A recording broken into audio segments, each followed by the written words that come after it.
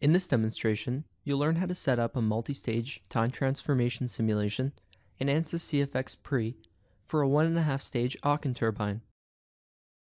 In order to efficiently simulate the transient performance of the turbine, I have set up a steady state simulation CFX Pre, which I will submit to the solver. The values from the simulation will be used to set the initial conditions for the succeeding transient blade row problem. In a few minutes, the solver has found a solution. Next, I will return to the originally defined problem in CFX. All of the basic settings, boundary details, and physics settings are the same, but instead of a steady state case, I want to perform a transient blade row analysis. With this new analysis type set, I must change the interface models to account for the motion of this piece of turbomachinery. The transient rotor stator option model should be used any time it is important to account for transient interaction effects at a sliding interface. It predicts the true transient interaction of the flow between a stator and rotor passage. Next, I will set up two time transformations for the rotor 1 domain. One at the rotor 1 to stator 1 and a second at the stator 2 to rotor 1 domain interface. The main advantage of the time transformation method is that I can solve a transient blade row problem on one or a few blade passages per row and therefore quickly obtain a solution. There are some restrictions involved. Time transformations are only valid for compressible flows with pitch ratios varying between 0.75 and 1.4, but this range becomes narrower as the rotational speed decreases. Fourier transforms can be used to avoid these limitations, but are computationally more taxing than the time transformation. However, they are still more efficient than the full wheel model. With my transient blade row problem defined, I will transfer the case to the solver. In the ANSYS CFX solver dialog box, I can define the initial values of this problem with the solution file produced by the steady state simulation. The ability to use the time transformation method on a multi-stage case is advantageous. It provides improved aerodynamic performance predictions over steady-state mixing plane analysis with accuracy that matches full-wheel transient rotor stator models.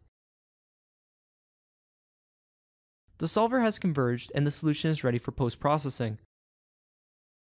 Another advantage of the multi-stage time transformation method is that it allows me to post-process the rotor signal which can be used to determine the front and back row frequencies.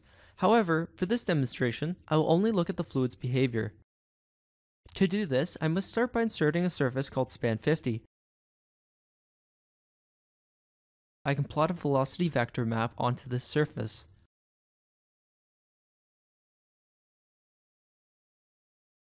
I will turn off the visibility of span 50 and inspect the velocity vector map.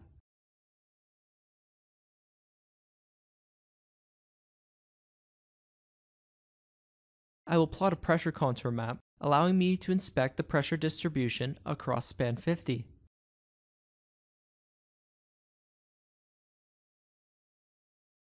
I will turn off the visibility of the velocity vector plot so I can quickly inspect the pressure contour map.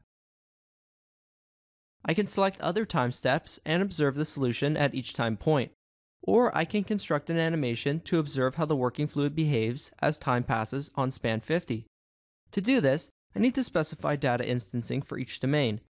Data instancing derives solution variables on an expanded domain, allowing us to view the plot with the entire geometry rendered.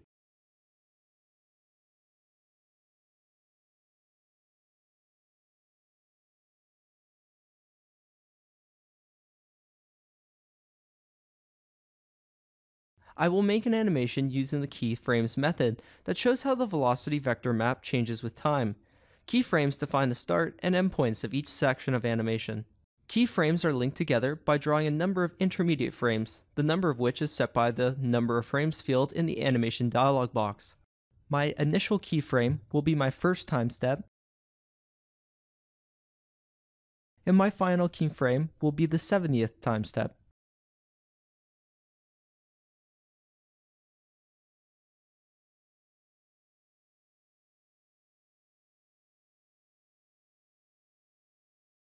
Here's the resulting animation, which depicts the velocity map over the first 72 time steps. The multi-stage time transformation method has allowed us to obtain good transient blade loading in the middle row that accounts for the upstream and downstream blade passing excitation. This provides us with an accurate means of deducing engine order forcing response analysis. This concludes this demonstration showing the multi-stage time transformation capabilities of ANSYS CFX in a transient blade row problem.